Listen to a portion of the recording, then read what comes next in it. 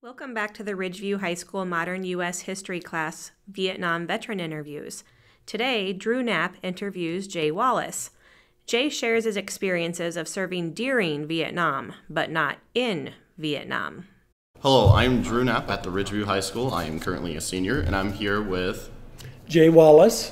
I'm here to ask him a couple of questions about his time during uh, service.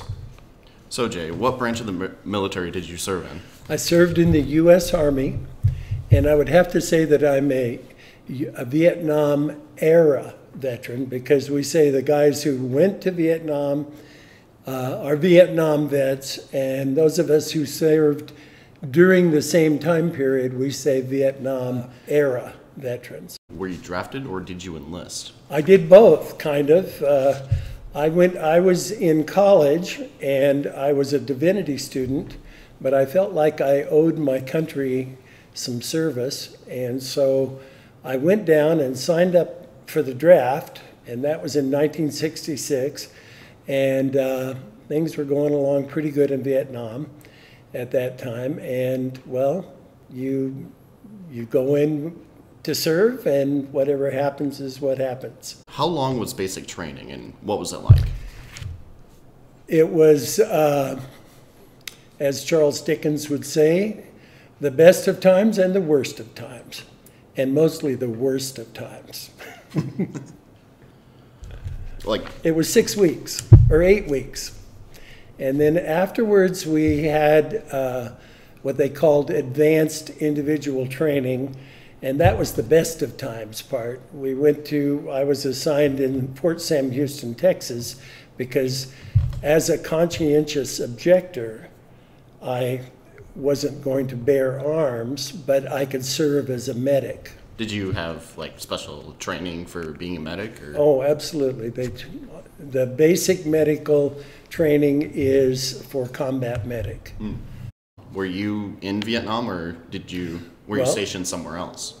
I was stationed in Korea, and the way it's kind of an interesting story behind that. On the day we graduated from uh, uh, AIT training, which was also the culmination of our uh, medic training, uh, we graduated from that, and the commander came out and he said, There's no fair way to do this. Half of you are going to Vietnam and the other half will be assigned to other duty stations around the world.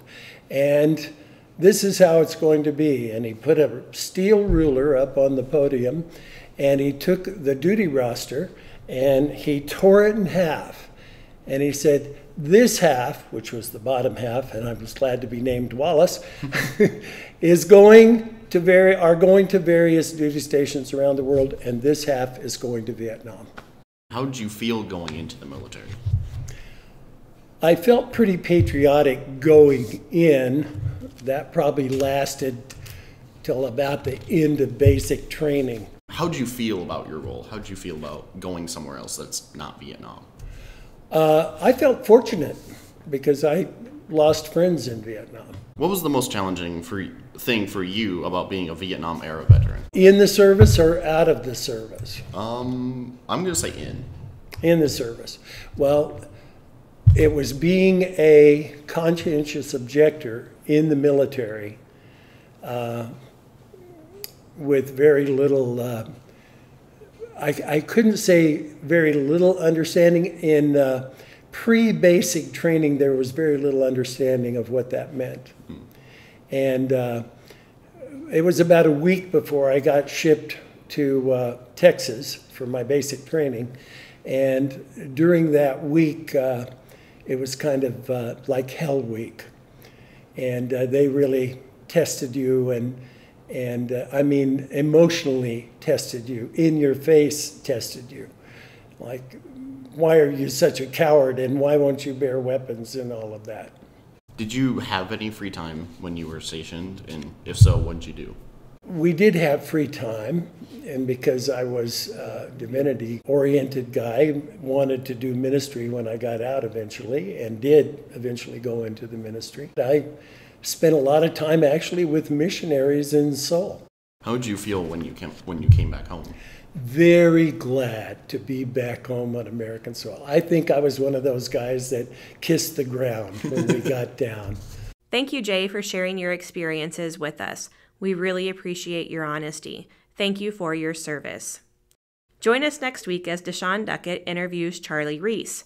That interview will conclude our initial year of this class project, and then in mid February 2019, we'll have more veterans' experiences to share with you then.